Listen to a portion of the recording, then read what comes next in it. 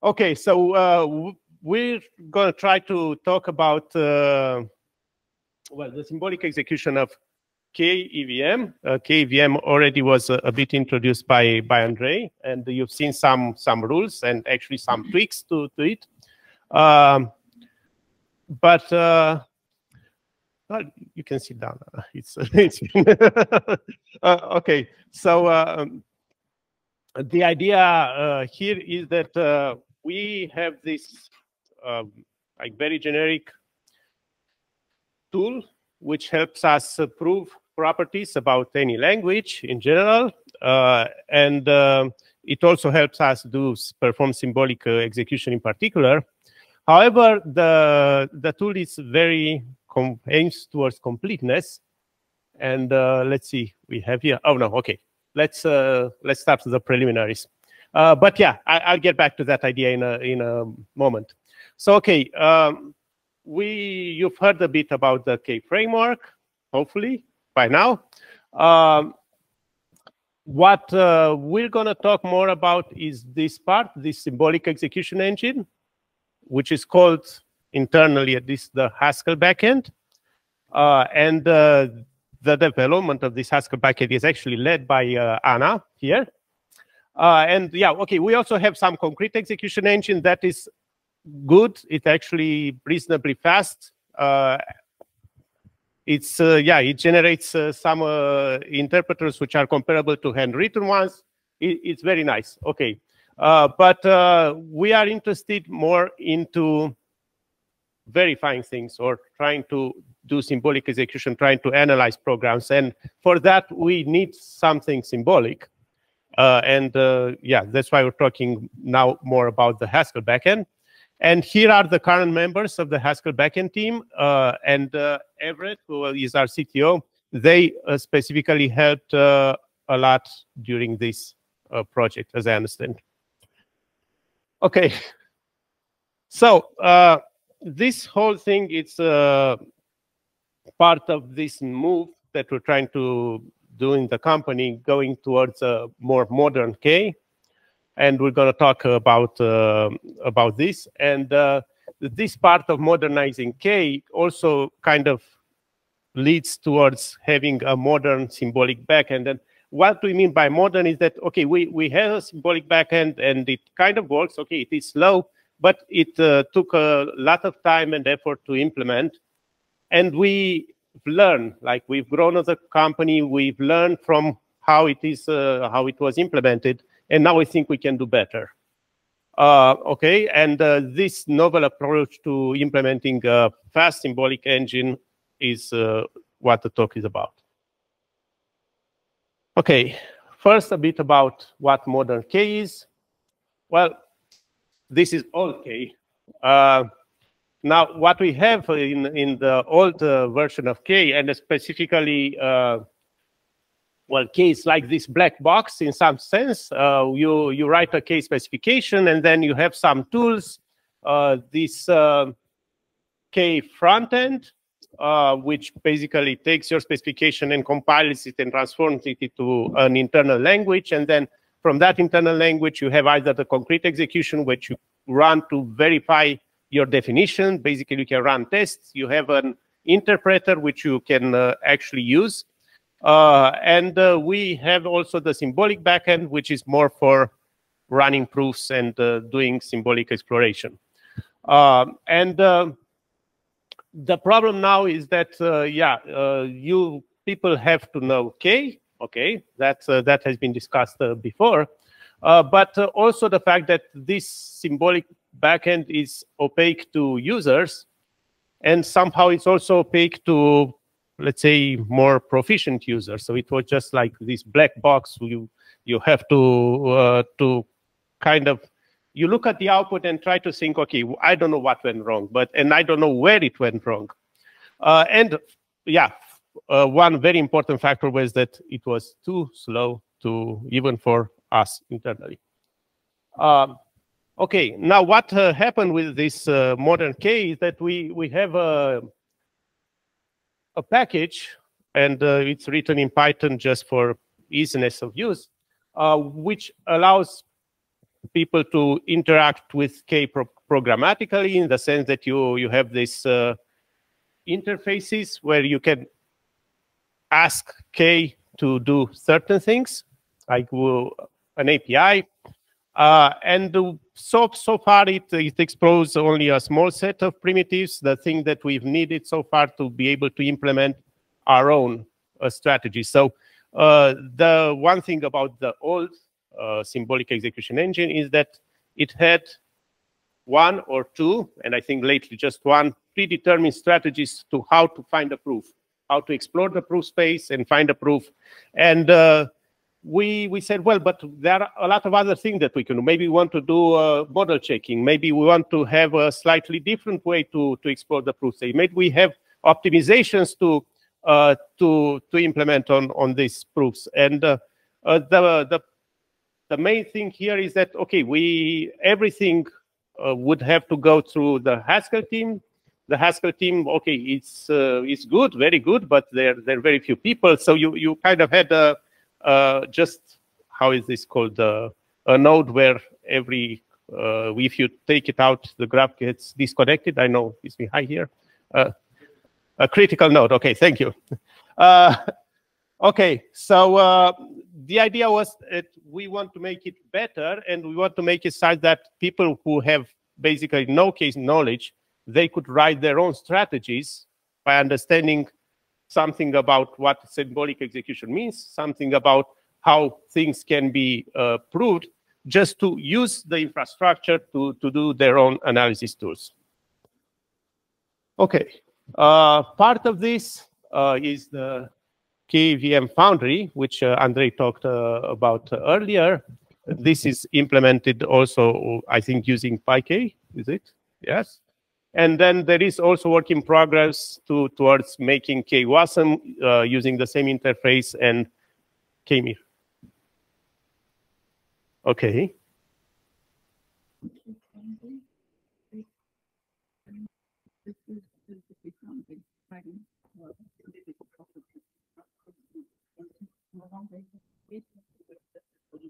Okay, okay, so okay, so the this is interactive UI. Uh, so this part here, the, the the engineer has no some K right now, but potentially you can remove all requirement to know K because you can pretty print this back to solid or sub, to something which is familiar to the engineer. So. Okay, so basically this would be uh, some sort of front end on top of the the existing. Yeah, I didn't explain that black box. and another thing is that we can do this for any semantics, right? So this will be the, the only uh, part of the uh, implementation which is specific to semantics, while this is uh, language independent. Okay, yeah. So okay, if I if I remember correctly from well from what uh, Ana just uh, said, yeah. So somehow the idea is that uh, we have this like K generic, but still with this PyK, which allows you to do specific calls to the API of K. And then this part will be language specific. So you would have some interface developed specifically for EVM, some interface developed specifically for WASM, and so on and so forth. So somehow, if, if people want, they would go, they can go deeper, then they can go like to, to the K specification and so on.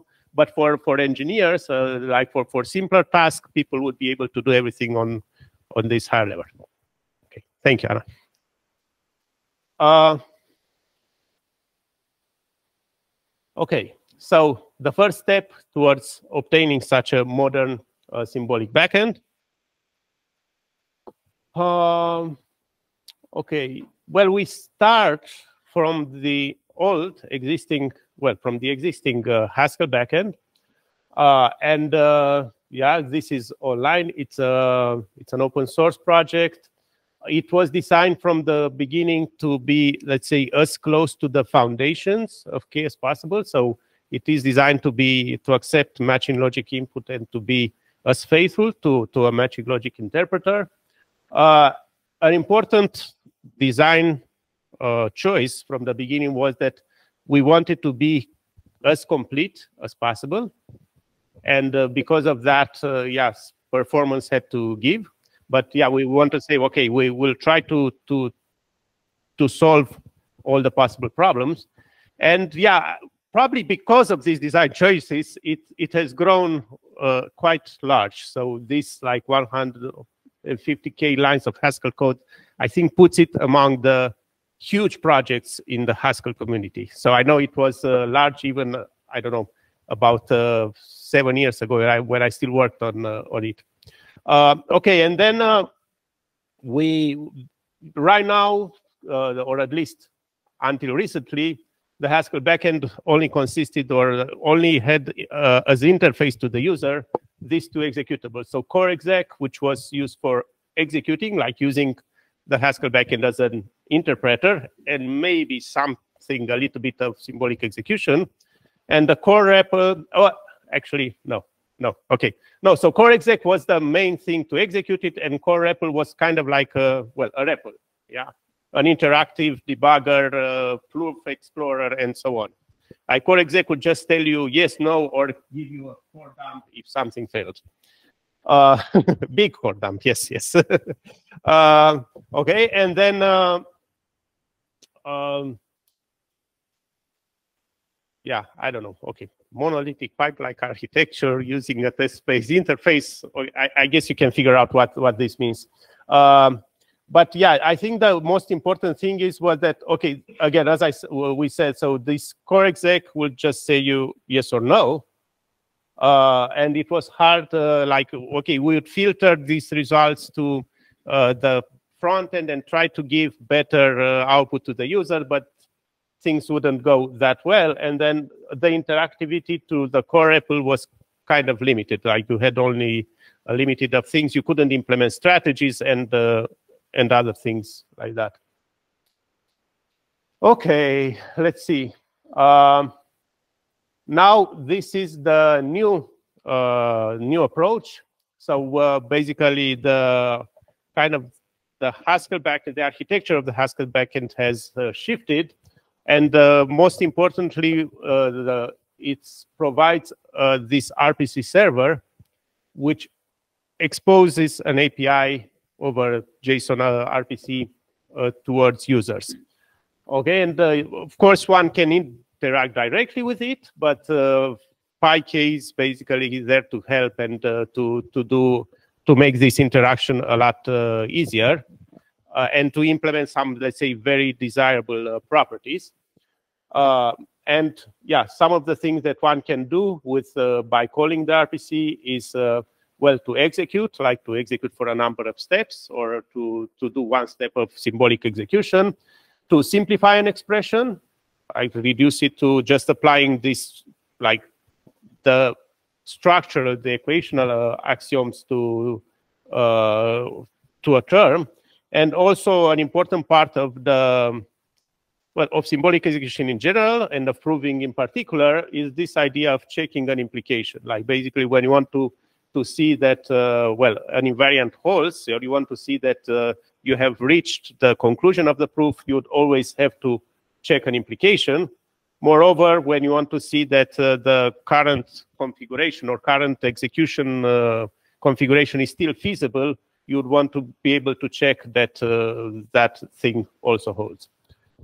And yes, another thing here is that being like exposing this to users or exposing this to to people in general uh, allows them to be creative first, like do use them in any way they, they seem feasible, uh, but also um, you can implement something which is language specific right? because you you have your in on top of uh, using this you also have your language uh, knowledge and you could uh, do all kind of uh, simplifications or all kind of exploration choices implement tactics i think uh, okay so a bit about fast symbolic execution so we, you've seen that right now it's like a new API, a new uh, way of uh, of doing things where you could kind of ask specific things from the symbolic engine and uh, do your own thing with it.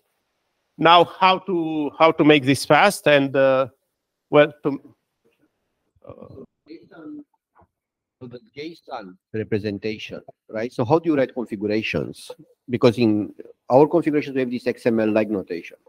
You translate that into a JSON-like notation? yes, I think that's uh, So instead of having idea. like, um, I don't know. Well, I think right now You I, have K colon and then the contents of the K. I think the front end can export. No, right now. Yeah, it's it's a representation of of of, of core, like uh, the internal data structures. No, uh, Okay, okay, okay. uh, and that that has been for a while. So we, I think we had a, a JSON output uh, for for the Haskell backend for some time. I mean, it shouldn't be. So there are some requests in the past to drop completely the XML-like notation in K and to use a JSON-like notation instead. So instead of writing, you know, Yeah. things like cells in XML, just say name colon. And No, so th- this is not related. This is more related to like the representation of terms uh, in core, but in a in a JSON format, just to make it. Uh, So make the distinction between configuration cells and plus or minus or other. And I think also the important thing is that uh, these RPCs, these servers are, let's say, have tools which are know to deal with JSON uh, uh, much easier. So basically, and a lot of tools are uh, know how to export JSON. So no parsing, no parsing in these two. Uh, no, no, no. So yeah, Just that's that's the thing. does the The, the important thing I think here is that uh, yeah, you don't want to to implement a parser for core Mhm. or like someone using it to implement a parser for core. They would just take this JSON and okay, if they need, they can look inside it and they can revert. Oh, definitely, it would be much slower to use uh, text-based representation because, yeah, again, these are optimized to handle JSON. But maybe we should adopt this JSON representation as core, you know, as the syntax of core and everything. Maybe, but it will be hard to read because I think right now it's just uh, even the application would be a different uh, row.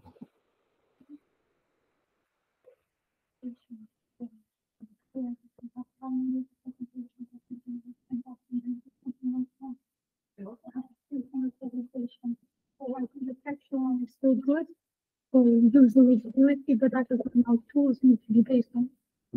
Yeah. So the, the, I think JSON is more machine, because core is still to some level is still human readable, and people get used to it. But I think probably JSON would be. Well, I guess some people could get used to that as well.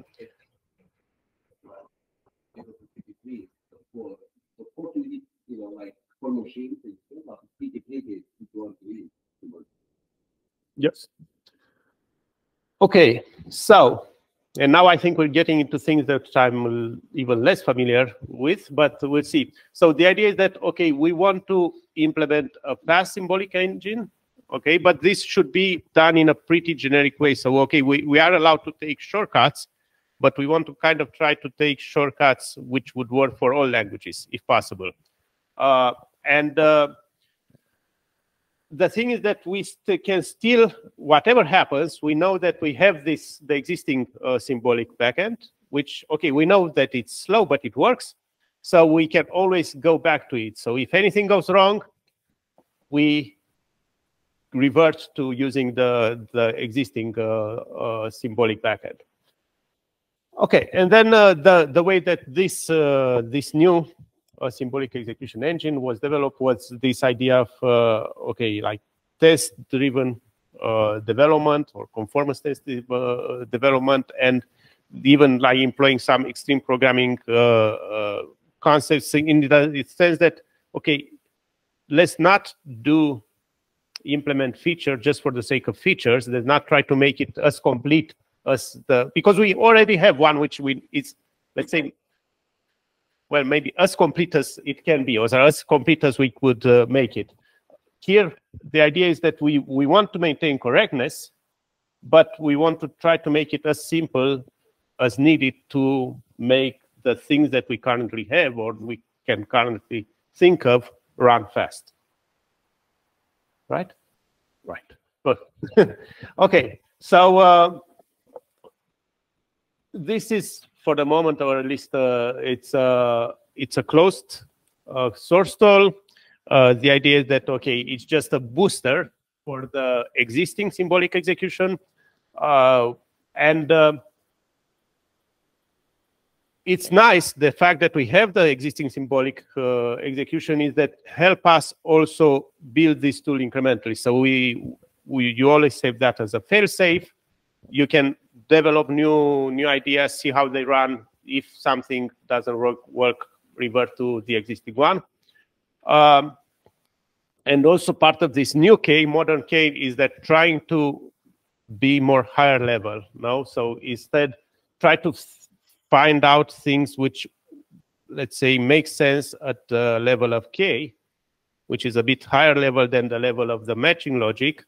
Because, yeah, the, the, again, as we said, so the first uh, Haskell backend was based, was built for matching logic. So it took matching logic as input, tried to, to make it as complete as possible. But in some sense, one can think that K, it's uh, not everything that matching logic can do, or maybe let's uh, put it the other way.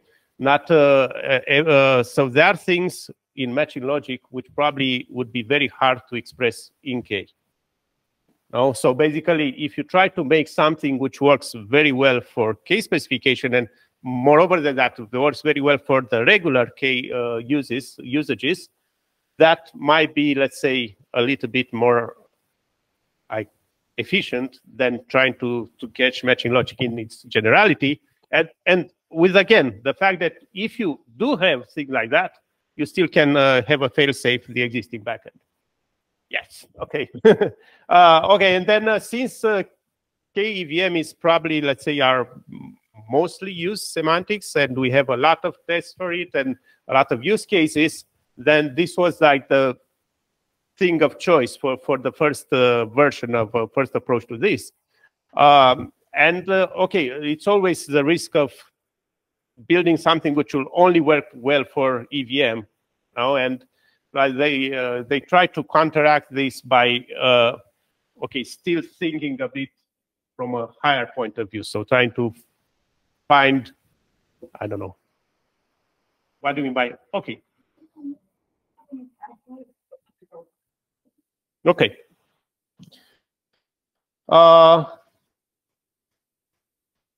okay, and then some some key points here are that okay, a large part of the execution has no branches, and one if you I don't know if you ever played with symbolic execution, you know that there are two things about it which are like the harder things. No, the, the fact that you branch, so basically you have to split your configuration and go on different paths, and maybe the way you handle loops. Uh, and the fact that a, a, large part of the execution does not branch kind of means that you could execute that with, let's say, less powerful symbolic engines. No, you you don't need to. You you only need to stop and consider and split configuration at the moment where you have a conditional. You have a something which would branch. Uh, okay, so that's one thing. Another thing that well, it's well okay this is hard to explain but okay matching logic matching logic uh, can express partiality and partiality is a natural thing. However in most cases or in a lot of cases in a lot of semantics people actually want to avoid partiality. And if you consider evm for example even division by zero has a semantics it's zero okay? Just because they didn't want to care about exceptions and other things. So uh, because of that, and uh, yeah, in, in order to support partiality, uh, we have these checks for definedness for something that to check that something is defined in order to make sure that we can apply a rule and so on. Uh, this is it, it is indeed very expensive. It has a lot of calls to uh, like this implication check. It calls to an external SMT, uh, and it's something that we usually can do without for a lot of cases. So this was one of the key observation. Uh, another thing is that, well, there's something probably could be done for the backend in general, but it would be harder to implement. Uh, but we can, uh, and actually the LLVM backend has a very generic rule indexer uh, for uh, try to, to, to find the best rule fast, which applies to configuration. But one thing that, uh, that they noticed is that, well, our executions or our rules are most of the time, and I think for programming languages, all the time, are guided by this K cell, which contains the computation, the current uh, program, the, the thing to be executed.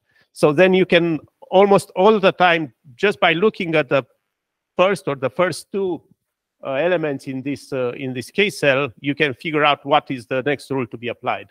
And this actually, uh, I think, provided a big speed up to uh, the uh, the booster.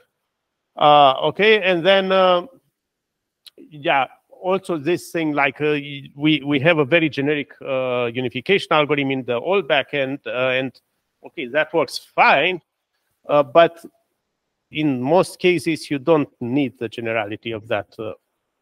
okay, and well, I guess uh, there can be more things here, or some of these might not be as good. Yes true for all semantics, but I, I think it's true for keys. So,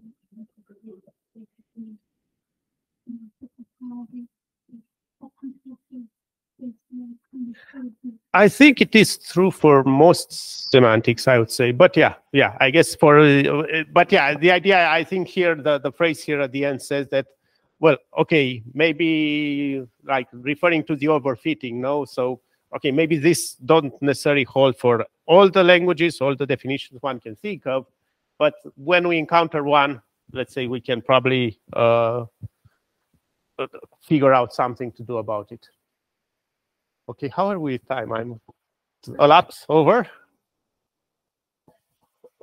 Okay, how, how many slides are there? Oh, okay, okay, so we're, we're kind of, sorry, sorry. Yeah, I, oh, you, you just have to, I don't know, take into account that I know something about it, but not that much. Uh, okay, so um, yeah, this is part of uh, about Haskell in general. So uh, we had this effort of implementing the Haskell backend, which I think it's I don't know five years now, or maybe or something like that.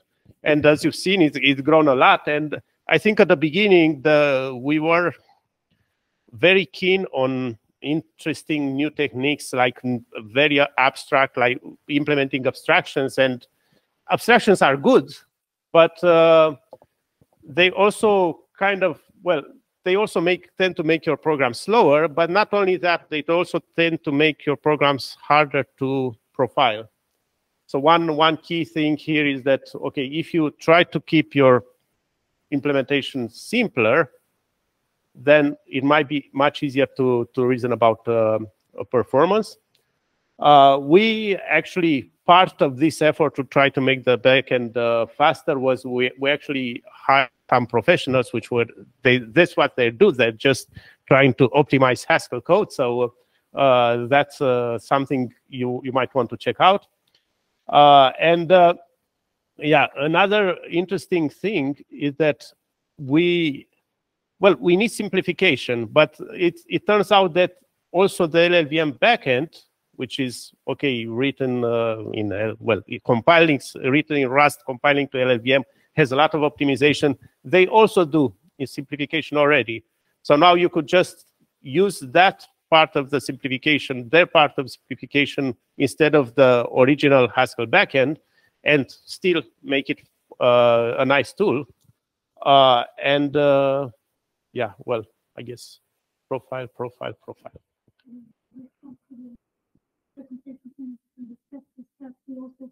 Okay, okay, okay. Yes, yes, yes. Testing and profiling are very important.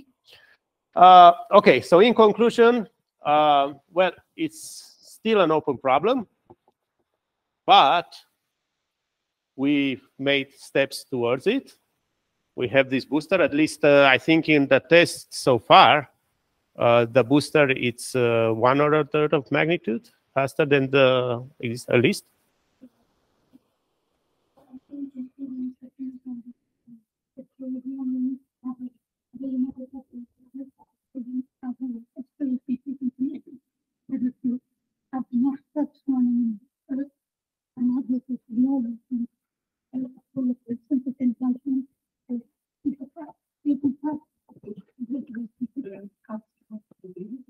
So okay, let's say it's still in the prototype phase, uh, but it's it's very promising, and uh, yeah, we'll look forward to when we can actually release it uh, to uh, to the public.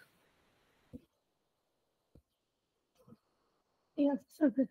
Okay, so it, it, it, when it does, uh, when it will be released, it will be part of the K as a service, like pre- helping people to run their specification faster, having this booster capability. Uh, yeah. Okay, so uh, let's say. well, well, you, you, it's your, it's your talk, um, and yeah, questions.